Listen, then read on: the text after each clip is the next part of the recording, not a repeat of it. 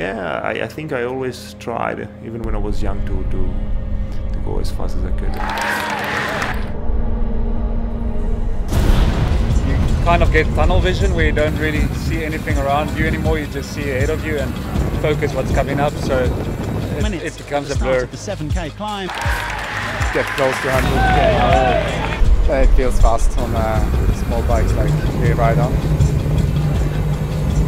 just in your bubble, you know, and you you focus on what you're doing, and you hope that the guys next to you are doing the same.